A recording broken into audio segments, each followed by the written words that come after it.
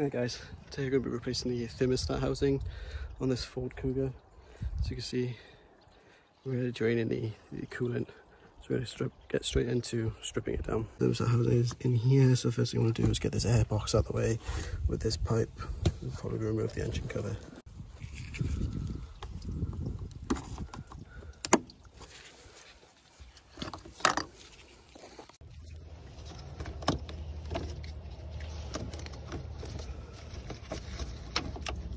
Okay, so I've, I've, pulled this off. As you can see, it was a bit tight in there, as you can quite see. It was held on by three rubber bands that you just have to yank out. And the Jubilee clip here, the hose detaches from in here there then.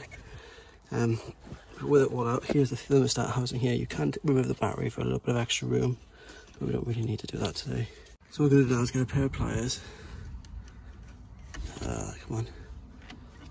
Clamp down on this hose clamp here. Down on the hose clamp and there is a little tab that locks that into position.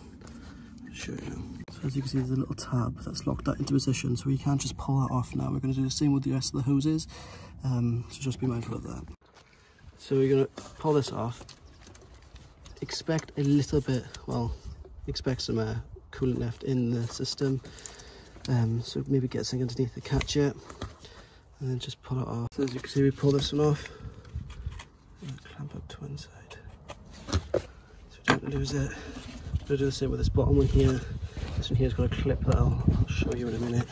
I might actually have to show you that off the vehicle.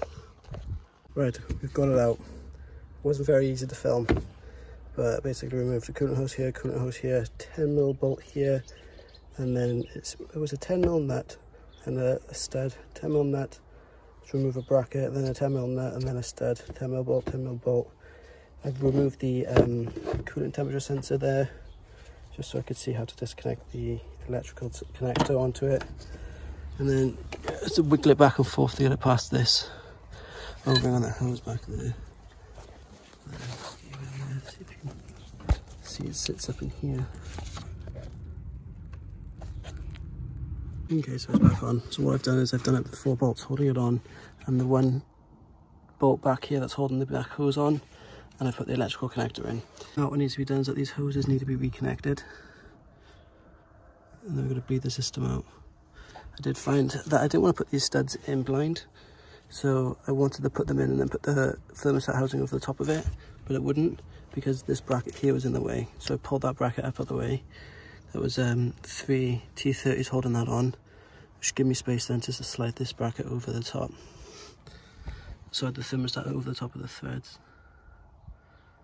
So yeah, let's get these hoses in.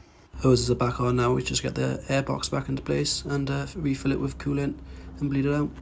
Uh, we got it back together, we've got no leaks, which is always a good thing. And now we're just waiting for it to bleed out.